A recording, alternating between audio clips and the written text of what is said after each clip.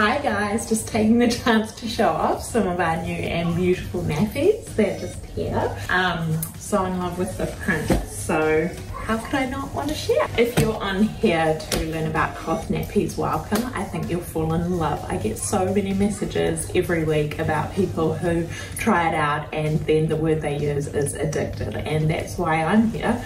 Um, I slowly but surely got super addicted to cloth nappies and we're on the quest to make the best ones. So today I'm just going to do an update video on the inserts. I did one originally but I want to make it super clear about what's possible and what some hacks are with using inserts in your nappies. This is the shell and like I've talked about in other videos the 2D nappy comes with two inserts and one is a bamboo fleece and one is a hemp cotton and they're both super thirsty but also really thin. So it's very much about finding the balance between something that dries nicely, is really slim and comfortable fitting on your baby and then is as well, super thirsty.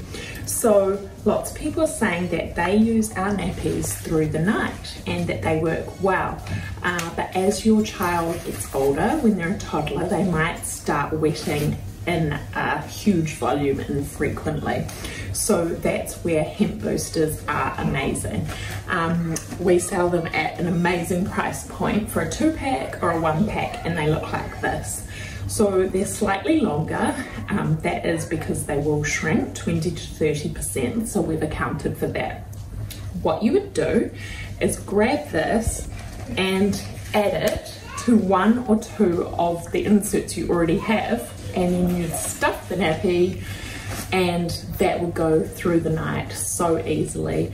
Um, this just holds so much moisture. So the question you might ask is, well, why don't you have these hemp inserts for the day in the nappies.